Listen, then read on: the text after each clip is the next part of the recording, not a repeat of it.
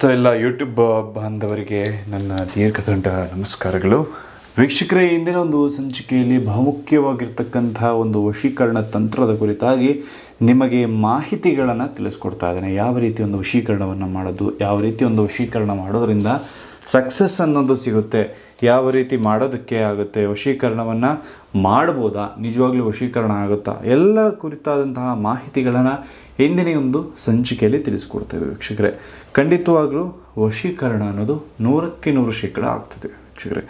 ಬಹಳಷ್ಟು ಜನ ಹೇಳ್ತಾರೆ, ವಶೀಕರಣ ಸಾಧ್ಯ ಇಲ್ಲ, ವಶೀಕರಣ ಎಲ್ಲ ಸುಳ್ಳು. ಅವರು ಹೇಳ್ತಾ ಇರ್ತಕ್ಕಂಥದ್ದು ಸುಳ್ಳು ವೀಕ್ಷಕರೇ. ಖಂಡಿತವಾಗ್ಲೂ ಕೂಡ ವಶೀಕರಣ ಅನ್ನೋದು ಸಾಧ್ಯವಾಗ್ತದೆ. ಯಾವ ರೀತಿ ಮಾಡ್ತಕ್ಕಂಥದ್ದಪ್ಪ ಅಂತ ನೋಡೋದಾದರೆ ವೀಕ್ಷಕರೇ, ಇದನ್ನು ಮೊದಲನೇದಾಗಿ ವಶೀಕರಣವನ್ನು ಯಾವುದೇ ಕೆಟ್ಟ ಕೆಲಸಗಳಿಗೆ ನೀವು ಮಾಡೋದಕ್ಕೆ ಪ್ರಯತ್ನ ಪಡ್ತೀರಂದರೆ ಖಂಡಿತವಾಗ್ಲೂ ಕೂಡ ಆ ವಶೀಕರಣ ನಿಮಗೆ ಫಲವನ್ನು ಕೊಡೋದಿಲ್ಲ. ಇದನ್ನು ನೀವು ಮೊದಲು ಅರ್ಥ ಮಾಡ್ಕೊಳ್ಬೇಕು. ನೀವು ಯಾವುದೇ ರೀತಿಯಾದಂಥ ಕೆಟ್ಟ ಕೆಲಸಗಳಿಗೆ ವಶೀಕರಣ ಮಾಡೋದಕ್ಕೆ ಏನಾದರೂ ಯೋಚನೆ ಮಾಡ್ತಿದ್ರೆ ಖಂಡಿತವಾಗ್ಲೂ ಕೂಡ ಅದು ನಿಮಗೆ ಫಲ ಕೊಡೋದಿಲ್ಲ ವೀಕ್ಷಕರೇ. ಆಯಿತಾ? ಅದೇ ರೀತಿಯಾಗಿ ಈ ಒಂದು ವಶೀಕರಣವನ್ನು ಮಾಡೋದಕ್ಕೆ ಕೆಲವೊಂದು ರೀತಿ ನೀತಿಗಳನ್ನು ನೀವು ಪಾಲನೆ ಮಾಡಿಕೊಳ್ಬೇಕಾಗ್ತದೆ. ಆಯಿತಾ? ಅದು ಯಾವ ರೀತಿ ಅಂತೆಲ್ಲ ನಾನು ನಿಮಗೆ ತಿಳಿಸ್ಕೊಡ್ತಾ ಇದ್ದೇನೆ. ಓಕೆ? ಈಗ ಈ ಒಂದು ವಶೀಕರಣ ಈ ಹಿಂದಿನ ಒಂದು ಸಂಚಿಕೆಯಲ್ಲಿ ತಿಳಿಸ್ಕೊಡ್ತಕ್ಕಂಥ ಒಂದು ವಶೀಕರಣ ತಂತ್ರ ಯಾವ ರೀತಿ ಇರ್ತದಪ್ಪ ಅಂದರೆ ಭಾಳಷ್ಟು ಜನ ಕೇಳಿದ್ರು. ಈ ಹಿಂದೆ ನಾನೊಂದು ಒಂಬತ್ತು ದಿನ, ಹನ್ನೊಂದು ದಿನ, ಇಪ್ಪತ್ತೊಂದು ದಿನದಲ್ಲಿ ಯಾವ ರೀತಿ ವಶೀಕರಣ ಆಗ್ತದೆ ಅಂತ ಹೇಳಿ ನಿಮಗೆ ಬಹಳಷ್ಟು ತಂತ್ರಗಳನ್ನು ತಿಳಿಸ್ಕೊಟ್ಟಿದ್ದೆ. ಆದರೆ ಬಹಳಷ್ಟು ಜನ ಒಂದು ದಿನದಲ್ಲಿ, ಎರಡು ದಿನದಲ್ಲಿ ಒಂದು ವಶೀಕರಣ ಮಾಡಿಕೊಡಿ ಅಂತೆಲ್ಲ ಬಹಳಷ್ಟು ಜನ ಕೇಳ್ತಾ ಇದ್ದಾರೆ? ವೀಕ್ಷಕರೇ, ಏನಾಗುತ್ತೆ ಅಂದರೆ ಒಂದು ಸಿದ್ಧಿಯನ್ನು ಮಾಡಬೇಕಾಗ್ತದೆ ವೀಕ್ಷಕರೇ. ಒಂದು ಸಿದ್ಧಿಯನ್ನು ಮಾಡಿದಾಗ ಮಾತ್ರ ನಾವು ಯಾವುದೇ ಕೆಲಸಕ್ಕೆ ಕೈ ಹಾಕಿದರೂ ಕೂಡ ನಮಗೆ ಜಯ ಅನ್ನೋದು ಪ್ರಾಪ್ತಿ ಆಗ್ತದೆ. ಈ ಸಿದ್ಧಿ ಮಾಡೋದಕ್ಕೇ ನಿಮಗೆ ಒಂದು ಕನಿಷ್ಠ ಪಕ್ಷ ಅಂದರೂ ಐದು ದಿನಗಳ ಕಾಲ ಸಮಯಾವಕಾಶ ಹಿಡಿಯುತ್ತದೆ. ಆಯಿತಾ? ಈ ಒಂದು ತಂತ್ರವನ್ನು ನೀವೇ ಮನೆಯಲ್ಲಿ ಮಾಡ್ಕೊಳ್ಬೋದು. ಈ ಒಂದು ತಂತ್ರವನ್ನು ಮಾಡೋದ್ರಿಂದ ನೀವು ಇಷ್ಟಪಟ್ಟವರು ನಿಮ್ಮ ಹಿಂದೆ ಬರ್ತಾರೆ. ಆಯಿತಾ? ನೋಡಿ, ಇಲ್ಲಿರ್ತಕ್ಕಂತಹ ಈ ಮೂರು ಮಾತ್ರೆಗಳ ಆಕಾರದಲ್ಲಿರ್ತಕ್ಕಂತಹ ವಶೀಕರಣ ತಂತ್ರ. ಈ ಮಾತ್ರೆಗಳಿಗೆ ಪ್ಲಾಮ್ ಬೀಜಾಕ್ಷರ ಅಂತ ಕರಿತೇವೆ. ಆಯಿತಾ?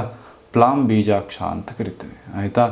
ಪ್ಲಾಮ್ ಬೀಜಾಕ್ಷ ಪ್ಲಸ್ ಪ್ಲಾಮ್ ಬೀಜಾಕ್ಷರ ಮಂತ್ರ ಅಂತ ಬರ್ತದೆ. ಈ ಒಂದು ಪ್ಲಾಮ್ ಬೀಜಾಕ್ಷರ ಮಂತ್ರದಿಂದ ಖಂಡಿತವಾಗಲೂ ಕೂಡ ನೀವು ಯಾರನ್ನು ಇಷ್ಟಪಡ್ತೀರೋ ಅವರನ್ನು ವಶೀಕರಣ ಮಾಡ್ಬೋದು.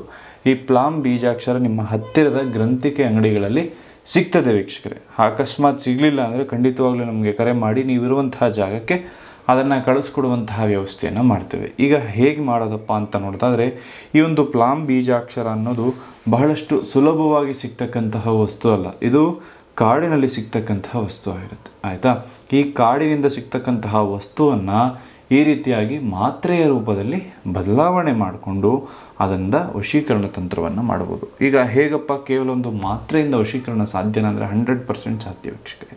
ಹೇಗೆ ಸಾಧ್ಯ ಅಂತ ನೋಡೋದಾದರೆ ಬಹಳಷ್ಟು ವಿಶೇಷವಾಗಿ ಒಂದು ತಂತ್ರ ಇರ್ತದೆ. ಯಾವುದಪ್ಪ ತಂತ್ರ ಅಂದರೆ ನೀವು ಮೊದಲಿಗೆ ಈ ರೀತಿಯಾಗಿರ್ತಕ್ಕಂತಹ ಒಂದು ಕುಡಿಕೆಯನ್ನು ತಗೊಳ್ಬೇಕಾಗ್ತದೆ ವೀಕ್ಷಕರೇ.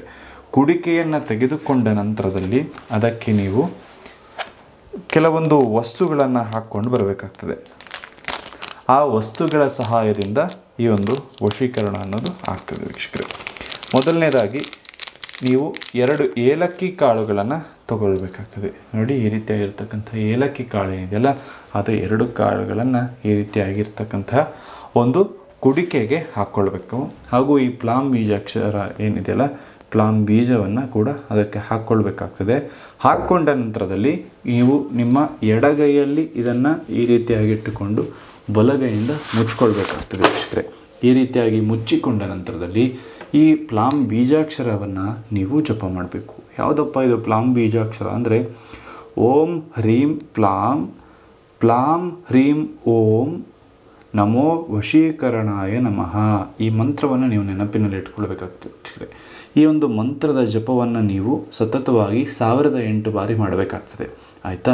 ಈ ರೀತಿ ಮಾಡೋದರಿಂದ ಖಂಡಿತವಾಗಲೂ ಕೂಡ ನೀವು ಇಷ್ಟಪಟ್ಟಂಥವರು ನಿಮಗೆ ಸಿಗ್ತಾರೆ. ಹೇಗೆ ಸಾಧ್ಯ? ಅಂದರೆ ಈ ಬೀಜವನ್ನೇನಿರುತ್ತಲ್ಲ, ಈ ರೀತಿ ಕುಡಿಕೆ ಏನಿರುತ್ತಲ್ಲ ಈ ಕುಡಿಕೆಯ ಒಳಗೆ ನೀವು ಯಾರನ್ನು ವಶೀಕರಣ ಮಾಡ್ಕೋಬೇಕು ಅಂತ ಇರ್ತೀರಲ್ಲ, ಅವರ ಕೂದಲು, ಚಪ್ಪಲಿಯ ಧೂಳು, ಉಗುರು ಅಥವಾ ಅವರ ಯಾವುದೇ ಒಂದು ವಸ್ತ್ರವನ್ನು ತೆಗೆದುಕೊಂಡು ಇದರೊಳಗಡೆ ಹಾಕಿ ಮಣ್ಣಲ್ಲಿ ಹೂಳಬೇಕಾಗ್ತದೆ ಇದನ್ನು ಯಾವ ದಿನ ಮಾಡಬೇಕಪ್ಪ ಅಂತ ನೋಡೋದಾದರೆ, ಬಹುಮುಖ್ಯವಾಗಿರ್ತಕ್ಕಂತಹ ಅಮಾವಾಸ್ಯೆ ದಿನ ಈ ತಂತ್ರವನ್ನು ಮಾಡಬೇಕು. ಬಿಟ್ಟರೆ ಮಂಗಳವಾರದ ದಿನ ಈ ತಂತ್ರವನ್ನು ಮಾಡಿದರೆ ಖಂಡಿತವಾಗಲೂ ಕೂಡ ಪ್ಲಾಮ್ ಬೀಜದಿಂದ ಖಂಡಿತವಾಗಲೂ ವಶೀಕರಣ ಆಗ್ತದೆ ವೀಕ್ಷಕರೇ.